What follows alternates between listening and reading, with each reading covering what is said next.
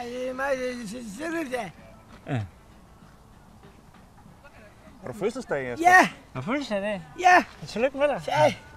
Hvor gammel bliver du? Er det færre? Far? Ja. Det er da godt nok. Du holder dig godt.